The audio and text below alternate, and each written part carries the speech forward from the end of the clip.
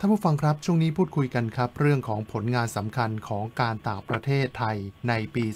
2566 รายละเอียดจะเป็นอย่างไร พูดคุยกับท่านอธิบดีกรมสารนิเทศ และโฆษกกระทรวงการต่างประเทศท่านการจนาพัทรโชคครับ ตอนนี้ท่านอยู่กับเราแล้วครับ สวัสดีครับท่านครับ สวัสดีค่ะท่านคะ ค่ะสวัสดีค่ะ คุณทรงพลคุณสันพรค่ะ ค่ะท่านคะอยากจะให้ท่านเล่าให้คุณผู้ฟังได้ทราบถึงผลงานสำคัญของการต่างประเทศไทยในปี 2566 ค่ะว่ามีอะไรเกิดขึ้นบ้างคะได้ค่ะ ก็ขอบคุณมากนะคะที่ได้ให้โอกาสมา เล่าให้พี่น้องประชาชนได้รับทราบเกี่ยวกับงานของกระทรวงการต่างประเทศในปี 2566 นะคะค่ะ อาจกล่าวได้ว่าเป็นปีที่มีวิกฤตเยอะมากค่ะครับค่ะอย่างนั้นตั้งแต่ต้นปีปีที่แล้วเนี่ย ปีปี 2566 เนี่ยต้นปีก็เราก็จะเริ่มด้วยเหตุการณ์ เช่นอ่ามีไฟไหม้คาสิโนที่ปอยเปตต้องมีการช่วยเหลือคนไทยนะคะ แล้วก็ตั้งแต่นั้นมาเนี่ยทั้งปีเนี่ยจะเห็นว่าข่าวข่าวที่เกี่ยวกับกระทรวงการต่างประเทศก็จะเป็นเรื่องเช่น กรณีแผ่นดินไหวอย่างรุนแรงที่ตุรกีแล้วก็ มีการช่วยเหลือพี่น้องคนไทยค่ะให้ออกมานะคะ กรณีสถานการณ์ความขัดแย้งการสู้รบในสุดานเมื่อช่วงกลางปีนะคะ ซึ่งก็ต้องมีการอพยพมาทางเรือมาทางซาอุดิอาระเบียเป็นต้น แล้วก็อ่าล่าสุดก็ตั้งแต่เดือนตุลาคมเป็นต้นมาก็จะมีกรณีที่อ่าอิสราเอลที่มีการสู้รบกันอย่างรุนแรง แล้วก็มีผลกระทบต่อ พี่น้องประชาชนคนไทย ซึ่งมีจำนวนถึงสามหมื่นคนที่อิสราเอลเนี่ยก็มีการอพยพคนไทยให้อ่ากลับมาสู่ประเทศไทยหรือไปสู่ในพื้นที่ที่ปลอดภัยในในเขตอิสราเอลเองอาในห่วงนั้นเราก็ทำการบินถึงอ่า35 เที่ยวบินนะคะ ที่ค่ะพาพี่น้องคนไทยกลับมาก็นำคนไทยกลับมาได้ เรียกว่าเป็นจำนวนที่ประมาณ 8,000 คนด้วยกันนะคะค่ะส่วนที่เหลือก็เป็นคนที่ยัง ประสงค์ที่จะอยู่ในอิสราเอลต่อไปอคนไทยอพยพคนไทยที่อยู่ในเมียนมานะคะ ตอนเหนือที่มีกรณีของการปราบปรามกลุ่มทุนจีนสีเทา แล้วก็กรณีของอความขัดแย้ง ระหว่างชนกลุ่มน้อยกับทางการเมียนมาก็มีคนไทยซึ่งไปทำงานอยู่ที่นั่น อันนี้เราก็ได้ช่วยอพยพออกมาจำนวนประมาณ 400กว่าคนแล้วนะคะงั้นทั้งปีเนี่ยเห็นว่าเป็นเรื่องวิกฤต ค่อนข้างมาก อย่างนั้นงานในห่วงของปี 2566 ถ้าจะกล่าวว่าเรื่องใดที่เป็นเรื่องเด่นที่สุด เป็นเรื่องที่อยู่ในสายตาพี่น้องประชาชนมากที่สุดก็อาจจะกล่าวได้ว่าเป็นเรื่องของการช่วยเหลือคนไทยในต่างประเทศ ในยามวิกฤตนะคะ นอกจากนั้นก็ขออนุญาตกล่าวต่อไปเลยก็คืออเป็นปีแห่งการเปลี่ยนแปลง เพราะว่าเรามีการเลือกตั้ง มีรัฐบาลใหม่เข้ามา ซึ่งเวลาที่มีการเลือกตั้ง รอให้รัฐบาลใหม่เข้า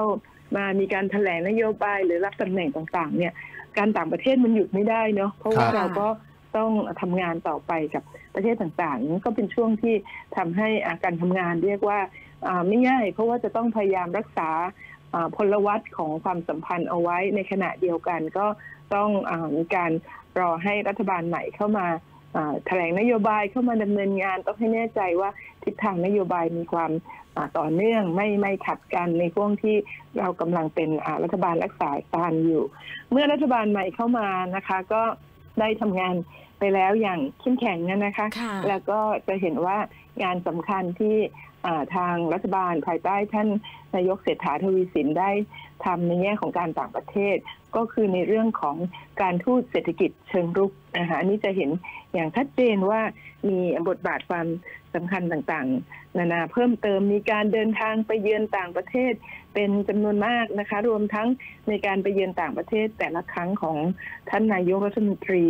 หรือท่านรองนายกรัฐมนตรีเนี่ยก็จะมีการพบปะกับกลุ่มภาคธุรกิจเอกชนในประเทศนั้น ๆ ตั้งแต่พบเป็นกลุ่มหรือว่าพบเป็นราย ๆ ไปเพื่อให้เขามีความ เข้าใจในสถานการณ์ในประเทศไทยมีความสนใจที่จะเข้ามาลงทุนค้าขายกับประเทศไทยนะคะค่ะปี 2566 เองยังมีงานที่สำคัญมากอ่าตั้งแต่ในห่วงรัฐบาลที่แล้วก็คือ ความที่เราสามารถที่จะเจรจา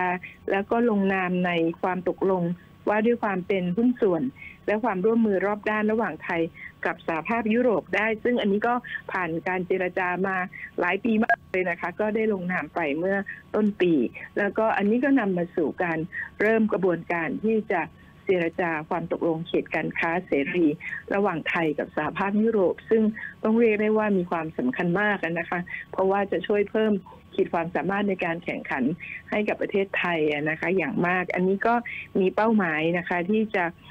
มีการเจรจาให้แล้วเสร็จภายในปี 2568 นะคะ ในเรื่องการทูตเศรษฐกิจเชิงรุกก็มีเรื่องของการขยายตลาดไปยังเช่นตะวันออกกลางนะคะ จะเห็นว่าเมื่อเร็วๆนี้ก็ท่านรองนายกรัฐมนตรีรัฐมนตรีว่าการกระทรวงการต่างประเทศ ก็เพิ่งเดินทางไปเปิดงาน Thailand เมกาแฟ ที่ซาอุดีอาระเบียนะคะ โดยทางหอการค้าไทยกับภาคเอกชนต่างๆ ได้ไปร่วมจัดงานแสดงสินค้า แล้วก็แสดงโอกาสทางธุรกิจต่างๆ ให้กับ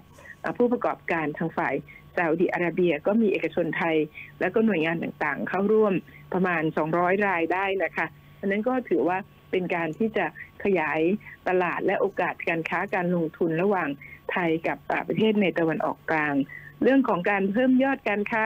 ชายแดน การอำนวยความสะดวกในการเดินทางข้ามชายแดน ระหว่างไทยกับประเทศเพื่อนบ้านเนี่ยก็เรียกว่ามีอยู่อย่างต่อเนื่องนะคะ รวมทั้งมีความพยายามในการกำหนด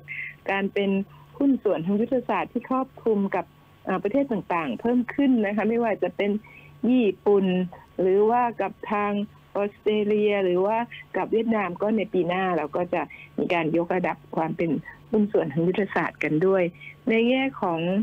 บทบาทในเวทีระหว่างประเทศนะคะ เราก็มีความคึกคักขึ้นแข่งค่ะ โดยเฉพาะอย่างยิ่งในด้านอาการสาธารณสุขนะคะการสาธารณสุขต่างประเทศนี่ไทยก็เรียกว่าเป็นประเทศที่เป็นแบบอย่างในเวทีระดับโลกทีเดียว นอกจากนั้นปีนี้ท่านนายกรัฐมนตรี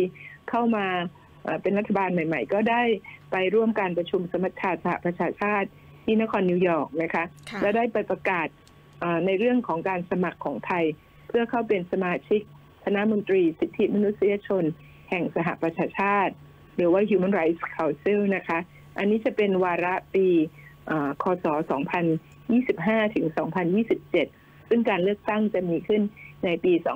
2567 นะคะ ก็จะเห็นว่ามีความพยายามที่จะดำเนินงานทั้งในด้านของความสัมพันธ์ ในด้านเศรษฐกิจ ในด้านการดูแลช่วยเหลือประชาชนนะคะ แล้วก็การมีบทบาท ในเวทีระหว่างประเทศ อีกนิดหนึ่งในเรื่องของผลงานก็คือในเรื่องของการปรับปรุงบริการการกงสุลต่างๆของเราเนี่ยนะคะ ซึ่งก็เรียกว่าเป็นที่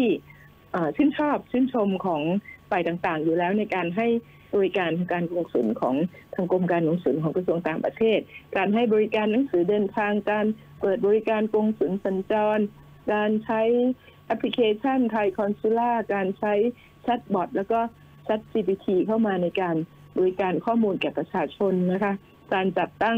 ระบบ call center ซึ่งก็มีอยู่แล้ว แล้วก็เวลาที่มีสถานการณ์ที่พิเศษ เช่นกรณีของอิสราเอลเป็นต้น เราก็จะมีการเรียกว่าระดม call center ให้แบบทำงานให้เข้มแข็งยิ่งขึ้น การจัดกงสุลสัญจรที่ต่างๆนะคะ ซึ่งโฆษณานิดหนึ่งของฝันปีใหม่ของกระทรวงการต่างประเทศ ในปีนี้เนี่ยนะคะ ก็มีตั้งแต่ที่ว่า ทั้งปีเราจะมีบริการกงสุลสัญจรเป็นของขวัญตลอดปี เดือนละหนึ่งครั้ง ไปยังพื้นที่ต่างจังหวัดทั่วประเทศ หรือว่ามีการทำบริการหนังสือเดินทางทำเช้าได้บ่ายนะคะ โดยจ่ายเนี่ยตราปกตินะคะอันนี้จำนวนจำกัดหนึ่งร้อยคนต่อวัน เป็นห่วงวันที่สองถึง 12 มกราคมนะคะ รายละเอียดก็สามารถเข้าไปดูได้ในของกรมการลงทุนยังมีของฝันชิ้นอื่นๆด้วยนะคะอย่างนั้น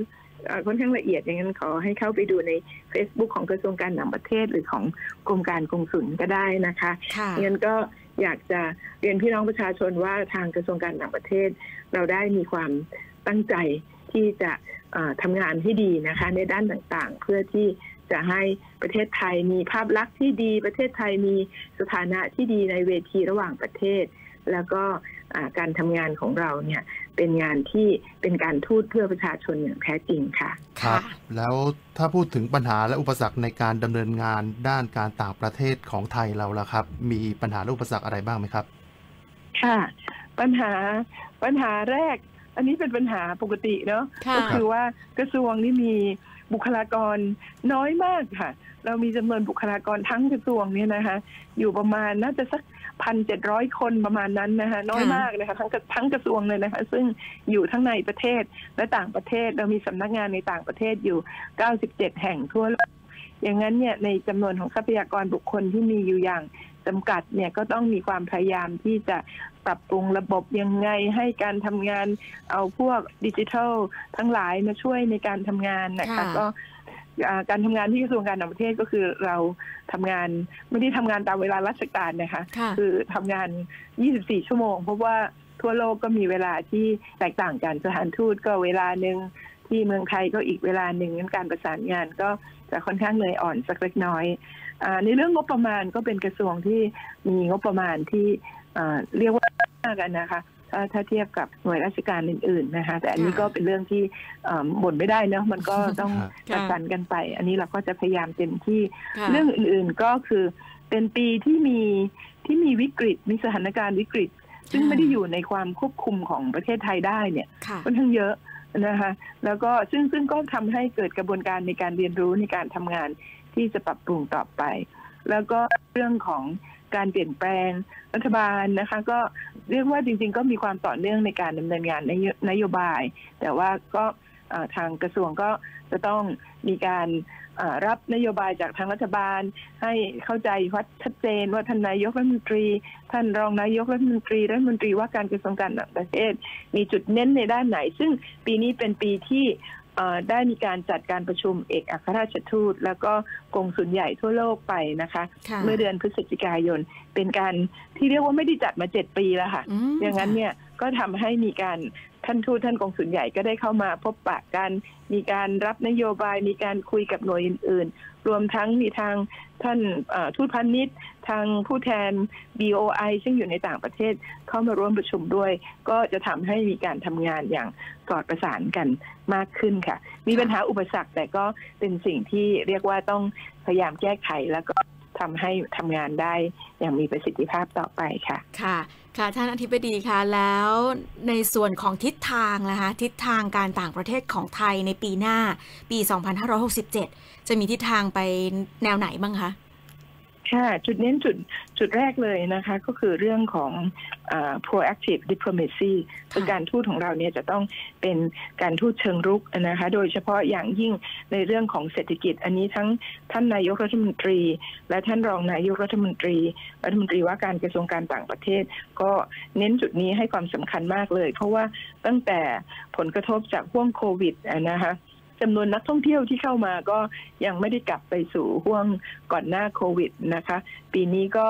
ตอนนี้ก็อยู่ที่ 27 ล้านคนก็ก็ถือว่าเราพยายามที่จะหามาตรการต่างๆ เข้ามาเพื่อช่วยกระตุ้นให้รายได้เข้าประเทศนะคะเรื่องของการผลักดันให้มีการเข้ามาลงทุนในประเทศไทยจากข้างนอก โดยเฉพาะอย่างยิ่งในเขตเศรษฐกิจพิเศษภาคตะวันออก หรือว่า EEC เนี่ยก็เรียกว่า เป็นจุดที่เราคงจะให้ความสำคัญ แล้วก็มีจุดเน้นอย่างมากนะคะ เรื่องของการไปมีบทบาทในเวทีระหว่างประเทศ การไปเยี่ยมเยือนแลกเปลี่ยนการเยือนกัน ซึ่งในปีหน้าจริง ๆ ตอนนี้ก็ได้มีการกำหนดเอาไว้ที่จะมีการเยือนของท่านนายกของท่านรองนายกรวมถึงผู้นำประเทศต่างๆ ที่จะเข้ามาเยือนในประเทศไทยด้วยนะคะ รวมถึงการเป็นประธานการประชุม เช่น การประชุมในกรอบ บิมสเต็กเป็นต้นนะคะ เรื่องอาอีกอันหนึ่งที่ที่อยู่ในใจ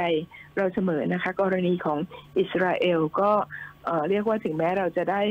พี่น้องคนไทยที่เป็นตัวประกันกลับคืนมาแล้วถึง 23 คนเนี่ยนะคะ แต่ว่าค่ะยังมีอีก 8 รายด้วยกันที่ยังไม่ได้รับการปล่อยตัวนะคะดังนั้นเราก็หวังเป็นอย่างยิ่งว่าและจะพยายามอย่างยิ่งที่เอ่อจะให้เอ่อ มีการหยุดยิงระหว่างฝ่ายอิสราเอลนะคะ กับฝ่ายฮามาสนะคะ เพื่อที่ว่าเมื่อมีการหยุดยิงแล้วก็จะได้มีการแลกเปลี่ยนตัวประกัน หรือการปล่อยตัวประกัน โดยเฉพาะอย่างยิ่งพี่น้องคนไทย 8 คน ซึ่งต้องถือว่าเป็นผู้บริสุทธิ์ไม่ได้มีส่วนเกี่ยวข้องอะไรกับความขัดแย้ง อันนี้ก็ขอให้ทางครอบครัวมั่นใจว่าเรายังดำเนินการในทางการทูตอยู่นะคะ เพื่อที่จะ เอ่อเรียกร้องแล้วก็ติดต่อ หวังว่าจะมีการที่จะได้สามารถช่วยเหลือตัวประกันให้กลับมาได้เพิ่มเติมค่ะ ครับ นี่คือผลงานสำคัญของการต่างประเทศไทยในปี 2566 นะครับ วันนี้ทางรายการครับขอบคุณท่านการจนาพัทรโชค อธิบดีกรมสารนิเทศ และโฆษกกระทรวงการต่างประเทศที่มาพูดคุยกันครับ วันนี้ขอบคุณท่านเพียงสุขครับ ขอบพระคุณค่ะค่ะขอบพระคุณมากค่ะ สวัสดีค่ะ สวัสดีปีใหม่ค่ะครัค่ะบสสวัวัสสดีดีครัค่ะบ